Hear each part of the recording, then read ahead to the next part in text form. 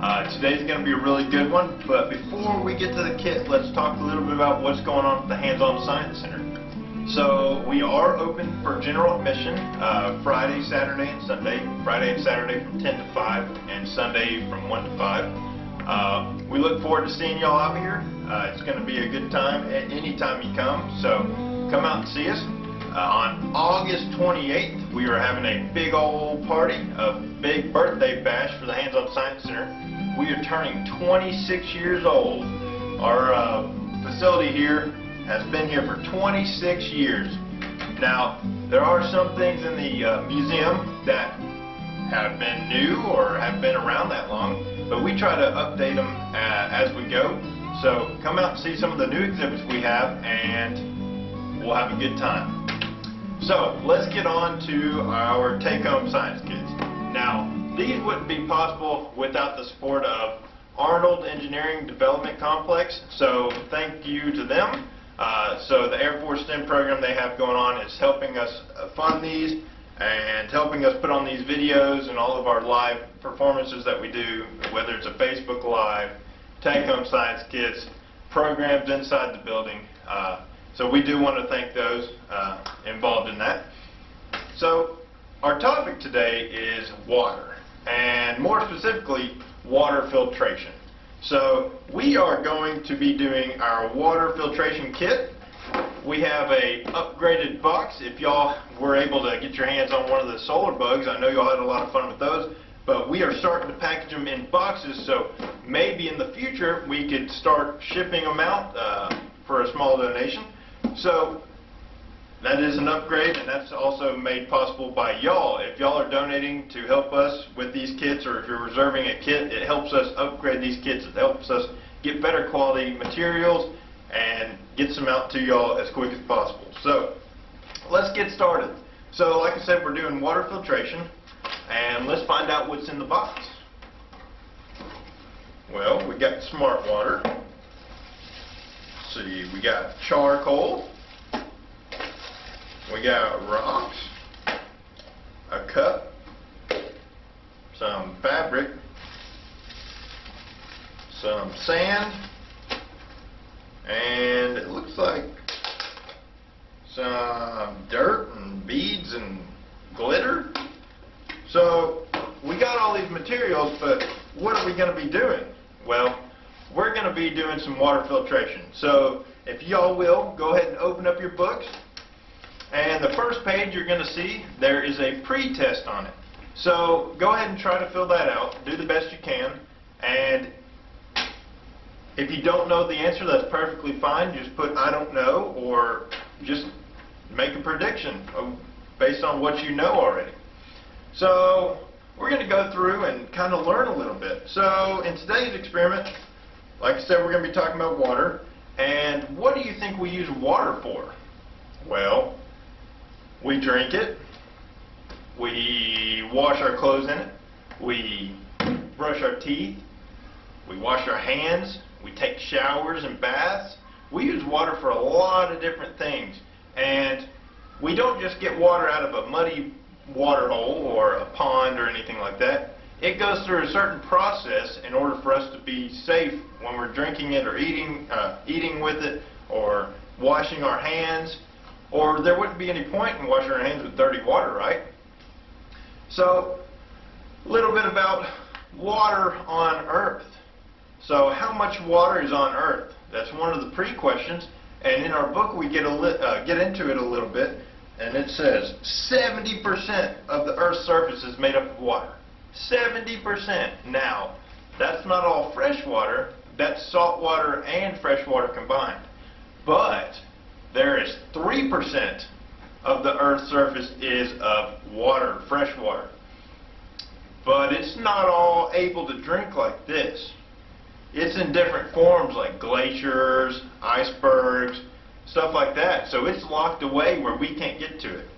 Really, there's only 0.5% of fresh water available to us humans in lakes, streams, and rivers, and ponds, and lakes. Uh, so there's not that much water for us to get our hands on here. And we can't really use all of that because that's not all clean fresh water. So we have to do a little bit to get the clean water. But we're not doing such a great job of keeping that water clean.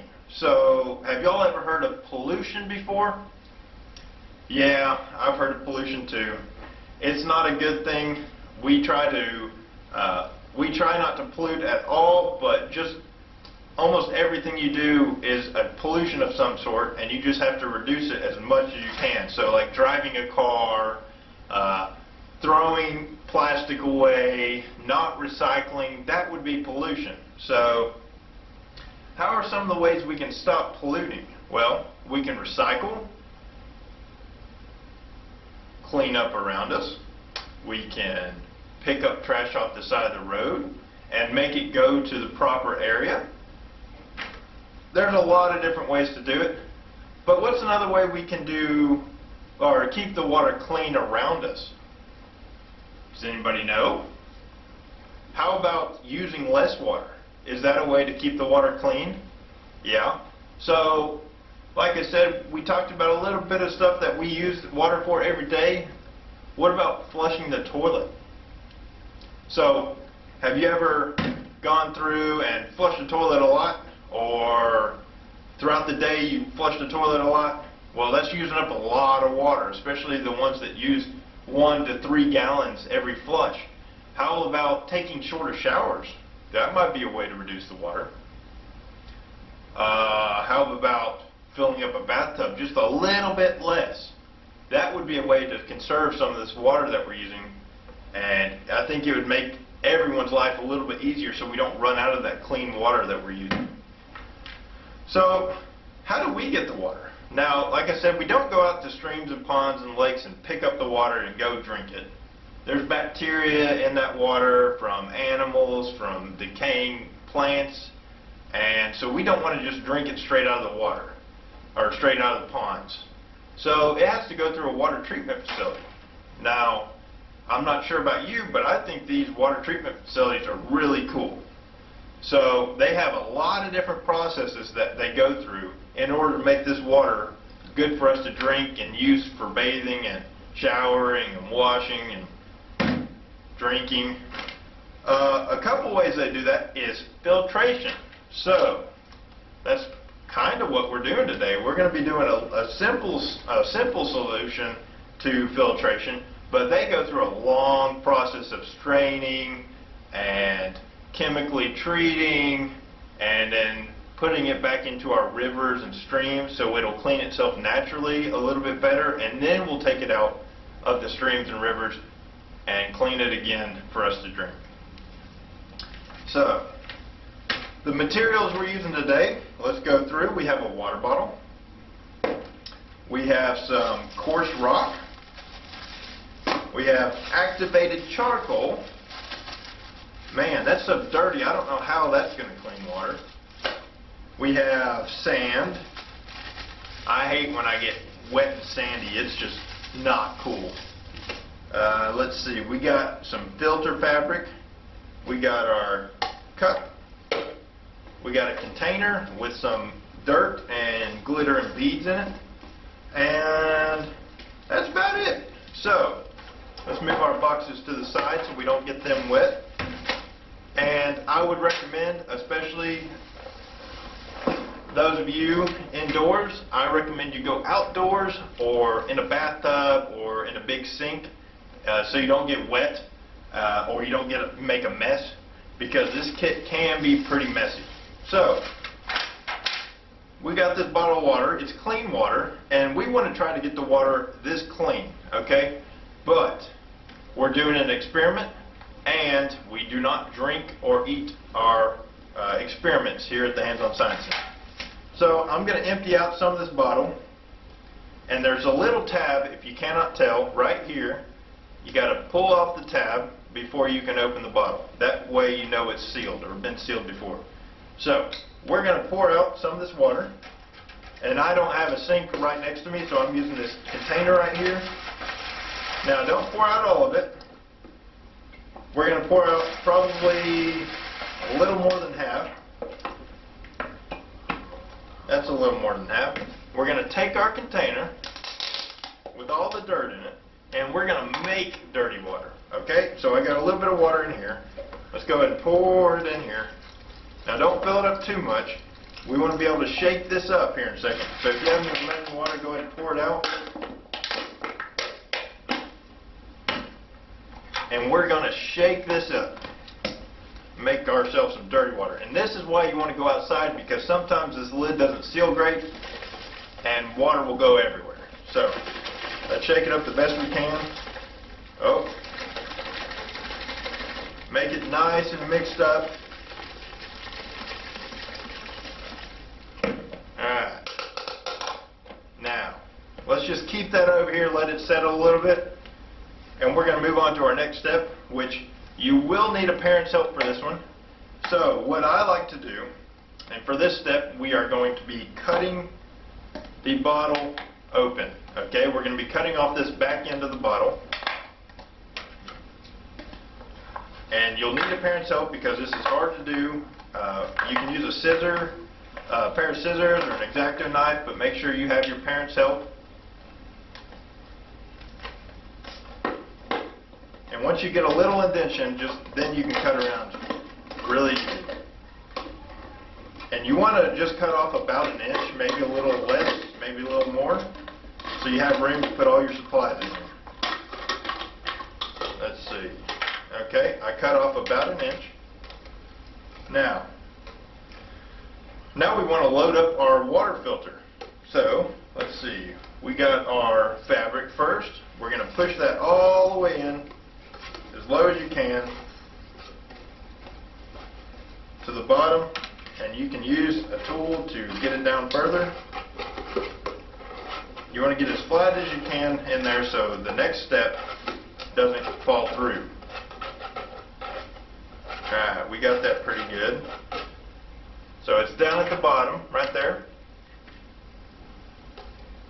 Next, we got our sand.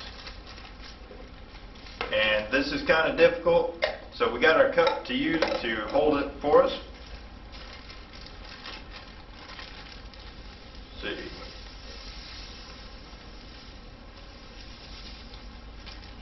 Alright, we got our sand in there. Let's make sure it's nice and even, not too spread out. Let's see. There we go. Now, we got our charcoal. And we want to pour our charcoal in.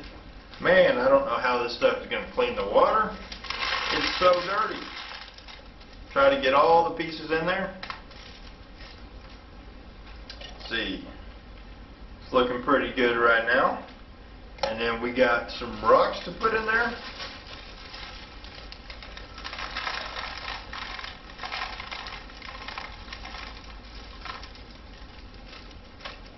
Alright. So if y'all can see that, we got three or four different layers that we can see. We got our rocks up top, we got our charcoal, our sand, and then our fabric right at the bottom. So, what we want to do is we got our dirty water. We're going to open up the container. Do not spill it because you need all the water you can get so you can filter it better. Alright? And all we got to do is pour this straight into the bottle. Alright?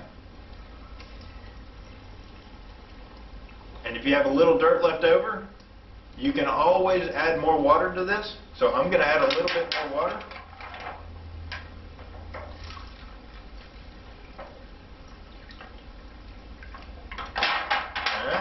Alright, we got a little more water. Let's mix that up a little bit more.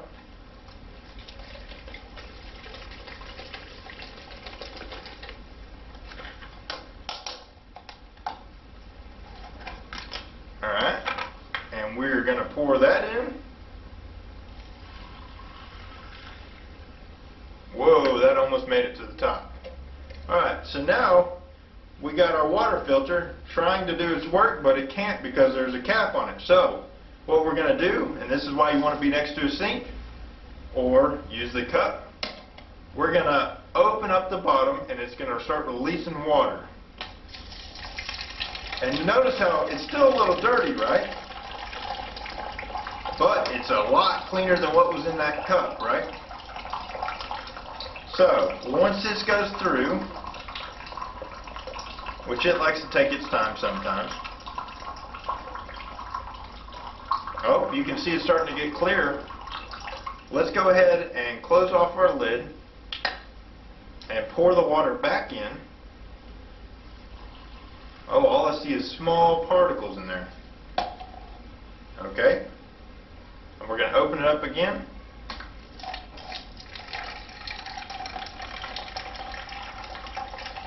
Oh, it's getting a lot clearer.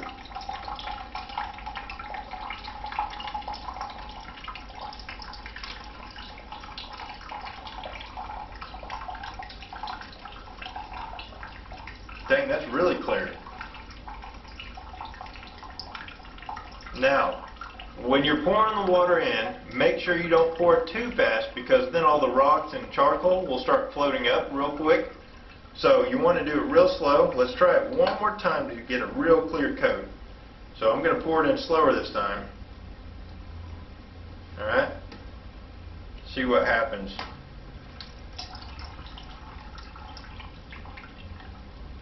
And it's coming out super clear now. Now, this is why it's very important to have the three separate layers. So, oh, I think I see why I'm getting a little dirtier water. It's because one of my layers didn't make it all the way through. So, that's why we want to try to keep our layers separate. So I can see a clear layer of sand right there, but I can't really see the charcoal. My charcoal and rocks mixed up. So we want to make sure that our layers get separated, not uh, combined like that. But it still looks like I'm getting decently clear water. There's a few particles in there, and this is why we do not want to drink or eat uh, any of our experiments because this water may have some fertilizer in it, may have some glitter left over, may have some beads coming through. And we don't want to keep, we don't want to drink dirty water. So after you've completed this, you can continue to use this filter and maybe make some improvements on it. Maybe you have another filter fabric at home, or you have more sand, or you have more charcoal or rocks. You can make this again with bigger portions and see if it cleans it any more than what we did with this one. So that's why I like how we cut this off because you can just cap this thing off with squeezing in the, the bottle. Let's see.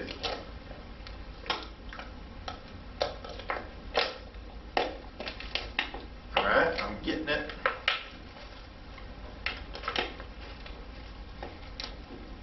Alright, so we got capped off so where the stuff won't come out anymore. So now I wouldn't recommend tipping it over, but it'll keep things from coming out or spilling out on accident. So guys, I hope you enjoyed this kit. It was really fun to make. I had a lot of fun doing it.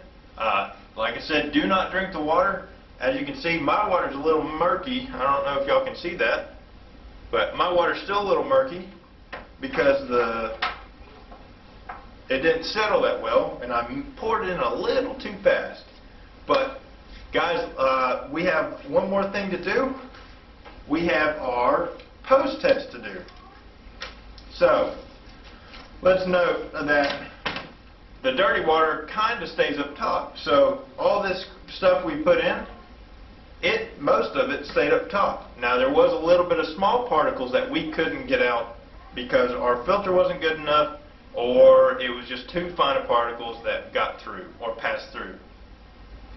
And let's do the post test and figure out what we learned from this book and what we learned from this kit and we'll be back in just a minute.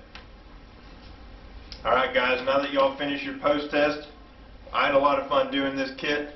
We're really excited that we get to put these on for y'all, give them out for free uh, every other week, and I'm enjoying making them, putting the kits together.